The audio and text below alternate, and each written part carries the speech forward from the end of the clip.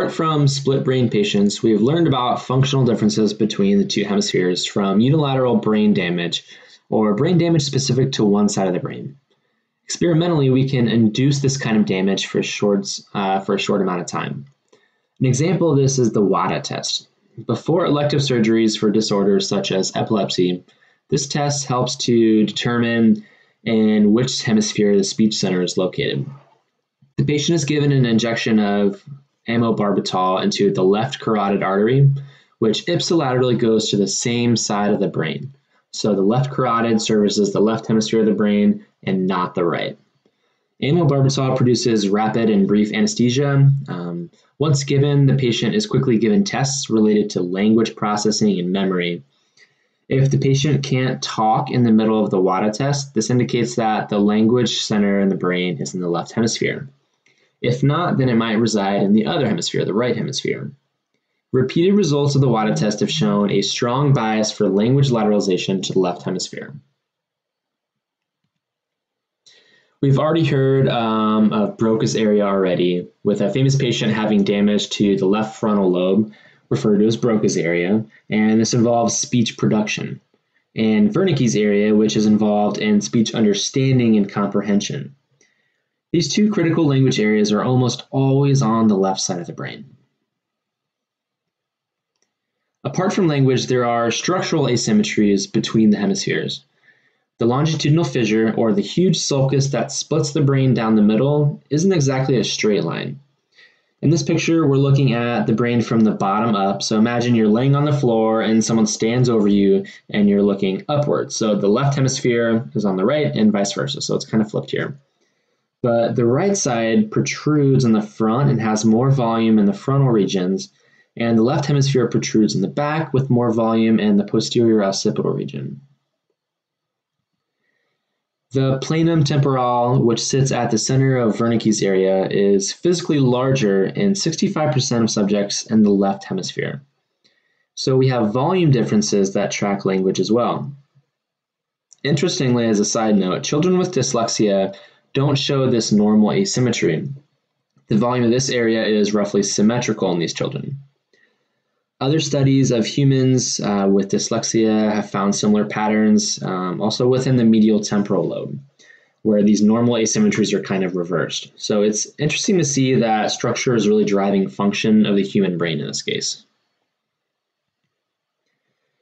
We've talked a bit now about what happens when we split the corpus callosum, but let's make sure we know what it is exactly. So the corpus callosum is made up of about 250 million axonal fibers.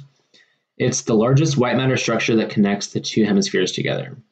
It's broken up into three parts. The most anterior is called the genu, the middle is called the body, and the posterior part is called the splenium. The corpus callosum is the major communication highway in the brain but it could also serve an inhibitory function. The brain is made up of distinct modules and they often compete with one another. The corpus callosum may play a role in interfacing with these different modules, where modules compete with one another for a spotlight in our conscious thoughts. For instance, multiple movements might be activated, all geared towards a common goal of motion, so moving your arm. Later processing via the corpus callosum could help to select the most appropriate of these multiple candidates out there to combine into smooth and coordinated muscle activity.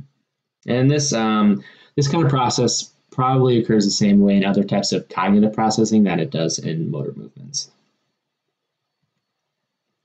Just as a side note as well, there are two other routes that allow interhemispheric communication other than the corpus callosum. Um, we're not going to dive too deep into those, but just know that they're called the anterior and posterior commissure.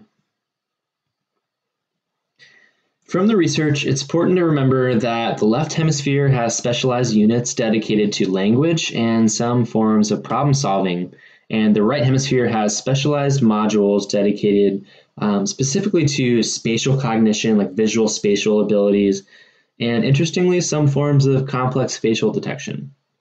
There are other faculties that show hemispheric differences, but as a starter, these are important to know.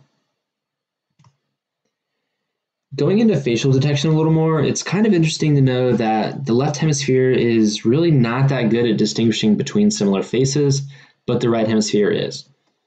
The left hemisphere really only does okay when the features that can be verbalized are present, um, or when these features can be tagged, such as blonde versus brown hair. So, kind of related to this language aspect in the left hemisphere. Other studies that um, morphed different faces together between the patient themselves and the other people exist. So it turns out that the left hemisphere was biased towards recognizing your own face when it was morphed with others.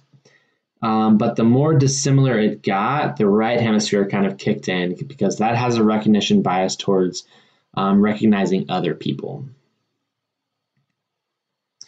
So I'd like to also touch on a note about what researchers call the interpreter, which is our ability to make causal statements about our world and about our actions. I mean, how is it even that the hemispheres are completely isolated, leaving some abilities impoverished, but how is it that people still think that nothing is wrong at all? Most of split brain patients think they're living a normal life with no cognitive deficits. okay, so the interpreter is kind of linked with our language system and it resides primarily in the left hemisphere. So the left hemisphere, not knowing what the right hemisphere is doing, just tries to make sense of what's going on. An example of this is that one researcher flashed a signal to the non talking right hemisphere to stand up, and the patient stood up. But when researchers asked the patient why he stood up, the, resp- the response was pretty striking. The patient said, Oh, I felt like getting a soda. If the two hemispheres were able to communicate, the patient would have correctly said that they were told to stand up. But because the left hemisphere didn't receive the instruction to stand up, it had to make a causal inference about why the body was suddenly standing up, and thus the response it came up what uh, came up with was they wanted to get a soda. In other examples of this, researchers experimentally showed pictures to both visual sides. A snow scene was presented to the left visual field, so the non talking right hemisphere, and a chicken claw to the right visual field, so the, the talking left hemisphere. The patient next saw an array of pictures. Some weren't related to the previous pictures at all, and others critically were semantically associated. Patient was instructed to pick the ones that were related to what they had previously seen. The patient picked a chicken, which was correct because that was associated with the chicken claw that they saw. And they also picked a shovel, which was correctly associated with snow scenes. But now, when asked why they had picked the shovel, remember that was shown to the non talking right hemisphere, the left hemisphere struggled and had to quickly kind of come up with a causal inference. So instead of saying, I picked a shovel because it helps to shovel snow, the patient said, the shovel helps to clean out the chicken shed because that hemisphere had seen the chicken claw. So it just goes to show you how this concept of the interpreter tries to make sense of the world and is what gives split brain patients a sense that the brain is working completely fine. I'll go over one last example about hemispheric specialization. So imagine you're at a party and you quickly realize that one friend you know is not there. So you don't know a single person at this party. And this can cause some tension. Like, do you leave? Do you stay and get a drink, try to meet some people? This is a constant tug and pull relationship between approach and avoidance or withdrawal behaviors. And as it turns out, these show hemispheric differences as well. In the prefrontal cortex, so the very front part of the brain, uh, which deals with planning and executive function, is one of the main regions associated with approach and withdrawal behaviors. So, do I stay and have a drink or do I leave and go home? Interesting research has shown that the left hemisphere is specialized to deal with these approach behaviors, and the right side with withdrawal. Damage to the left frontal lobe can result in severe depression, a state in which the primary symptom is withdrawal and inactivity. We expect this might be normal um, as a normal response to brain, image, brain injury, but it's actually the opposite with patients with right frontal damage. So when when you have damage in the right hemisphere, patients here appear more manic.